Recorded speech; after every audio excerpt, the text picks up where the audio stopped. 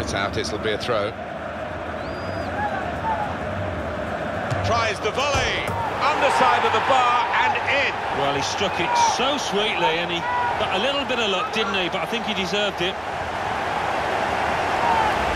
Well, that is one that we'll look at again because it's so eye-catching when that happens. Very rare, really, but it's a special goal. Yeah, it really gets the crowd buzzing. And uh, looks like being this lad's day. Wonderful strike.